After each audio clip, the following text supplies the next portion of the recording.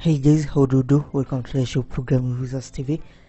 Here we're going to see how to work with your custom list view with images and text. This is Xamarin Android tutorial. You can see right here we have uh, this list view, of course with images and text. Okay, if you click a single list view, we're also able to get uh, the item that's been clicked. This is our tutorial right here. We're going to see how we can customize, of course, a list view and show images and text. So it's this simple. This is what we're gonna look at. Join us. We get started. So the first step is to fire up your visual studio. Of course once you fired it up this is Xamarin android tutorial. So go ahead. Inside choose the android blank app then click ok. This is going to create for us a blank project. Then of course once we have that one let's come right here to our resources and make sure uh, we add some stuff before we move to our C sharp code okay? So first we're going to have a couple of drawables or images uh, right here. You can see these are my images that I've added right? You can see uh, their preview uh, right here.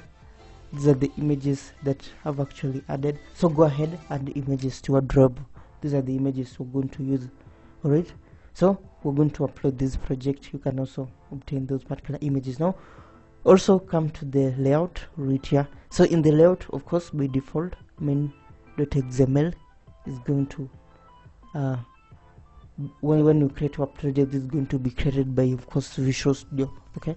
Then of course we're also going to add another module.xml now before we come to that one let's come and then explore our main.xml main.xml this is the file that's going to actually get inflated to our main activity right in our android. So this is our main activity layout. What we're going to do we're just making sure adding just some custom stuff. I've changed the background. Then of course the list view right here. These are list view. We've added a list view because this is a list view tutorial we're going to be showing creating a custom list view with images and text. So let's go ahead at that particular list view okay? Now the second layout to add a layout right here just right click your layout. Then of course choose add right here. Then of course choose new item. Then of course in the templates we're going to choose android layout. So go ahead choose the android layout. Give it a name. Click add. It's going to add a layout. Alright so in this case mine is module.xml now this layout right here. This is the layout that's going to get inflated to a single list view item. Right remember a list is going to consist of multiple items or multiple rows.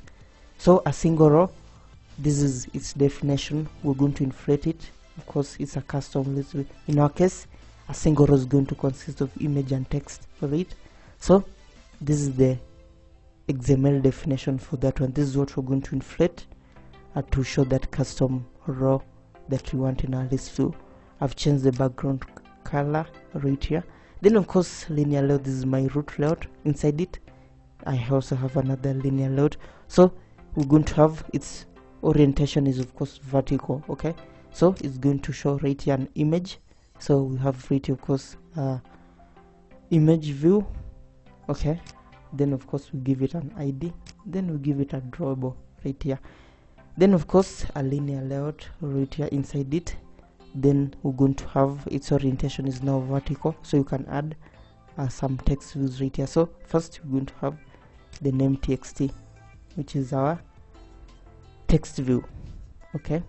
So name txt name is going to show us the name right there. So guys this is our layout right here. We're going to leave the source code below okay? So these are resources. Let's close them and then of course move to our code so what we're going to do we're going to have three classes. First of course the main activity which is going to be auto generated by our visual studio who's going to have the adapter class. Then of course our spacecrafts okay class. So let's go ahead start with spacecraft. To add it to our project just right click then go come over to add then choose new class. Of course give it a class right there then .cs then add it. Now is a class it's our data object right here. You can see we're going to have two uh, variables right here two properties the name as well as the image okay?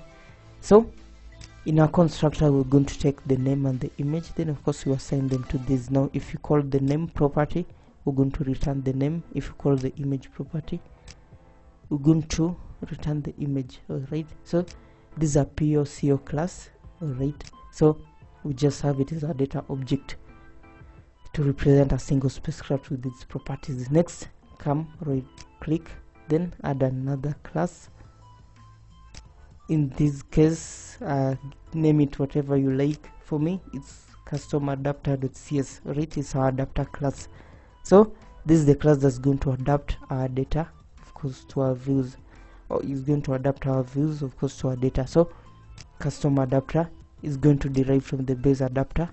Then of course we have these uh, instance fields right here. Because context object see? Then java list. Java list is of course is a list of spacecrafts right? Then of course layout inflator inflator right here. We just declare them over there. Then of course we're going to come. This is our constructor. So if you instantiate this particular class will require you to pass as a context object as well as a java list object right? Java list is of course just a like an array list. It's just a collection right here. So java list of type spacecraft generic type spacecraft we're going to call it spacecraft. So this dot c we assign it to a context object. Whatever you've passed us then of course spacecraft you've passed us we're going to assign it to a spacecraft right here. So that's how we're going to retrieve the two objects to this particular class. Then of course get item object. These are methods that of course if you create your base. If you derive from the base adapter you'll have to override a couple of methods including the get item the get item id get view and then of course uh, the total count right here okay? The count. So get object no? Get item right here it's returning for an object. Now take note in our imports over right here we're using the java.lang okay? So this is java.lang.object that you're using. So right here uh, we'll be returning it. Get item. You pass us the position of that particular object then of course we'll return to you from our spacecrafts which is our collection. So spacecrafts.get position. Is going to return for us a single spacecraft which is in this case of course is our object. What about the item id of course along. Get item id you pass us the position. Now we're going to use the position of course as our item id or it as the spacecraft id what about get view? Get view is going to return for us the inflated view or it the view it's going to return for us a single row for the list view. So the custom row right here. So uh, public override view get view. You're passing us the position of the item. Then of course a view object right here convert view then view group which is the parent. So first we're going to check inflator object our left inflator object. If it's equal to null then of course we're going to initialize it. See we initialize it of course from our context so context dot get system service inflator service. We cast it to layout inflator this is going to give us a layout inflator object which we can use to inflate our module.xml of course into a view object and return it. So next we're going to check of course our convert view which is our view object okay? So if convert view equal to null right if it's equal to null then we're going to inflate it now inflation this is an expensive process. So remember this method the get view is going to be called multiple times okay? It's going to be called multiple times uh, depending on the of course number of rows that you have. For instance if you have like 10 rows is going to be called uh, that number of times.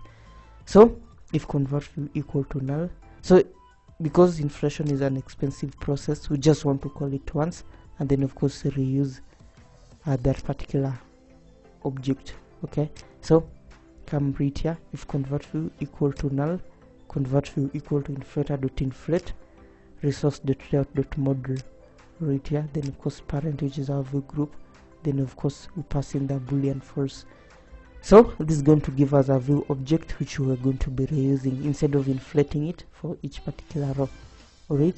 So once we have that one then of course we're going to have this custom adapter view holder. Now this is a custom class we're creating let's go ahead create it right here uh, below our custom adapter. So custom adapter view holder extends object then public text view name txt image view. Of course these are the views that we're going to be reusing of in our of course uh, convert view okay? The view that's going to get inflated. So public convert view in the constructor you're going to pass us that convert view which is our item view. Then we use it to reference these two views right here. So name txt for instance equal to item view define view by id generic type text view resource.id name txt item view define view by id generic type image view resource.id spacecraft image.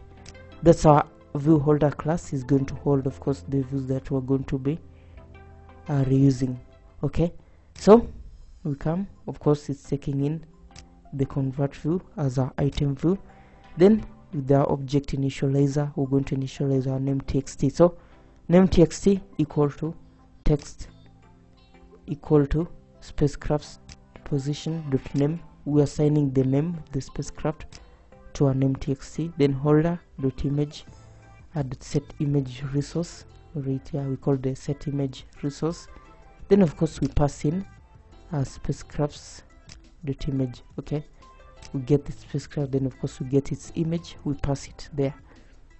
If you want to set the background color you can use this method set background color to set the background color for each that particular row. So if convert view no return convert view okay we're returning the inflated view of course uh, which is going to represent a single row in a list view. Then the total number of spacecrafts this is a method overriding. Count this is a property overriding. Okay count get return spacecraft size. We're going to use the total size of spacecrafts as the count over there. So this, this is our adapter class it's our custom adapter class is going to adapt our views of course to our data so that's it let's move over to our main activity. So the main activity is simple. First it's deriving of course from our main from activity. So we come we're going to have declarations right here. List view lv custom adapter adapter then of course java list spacecrafts.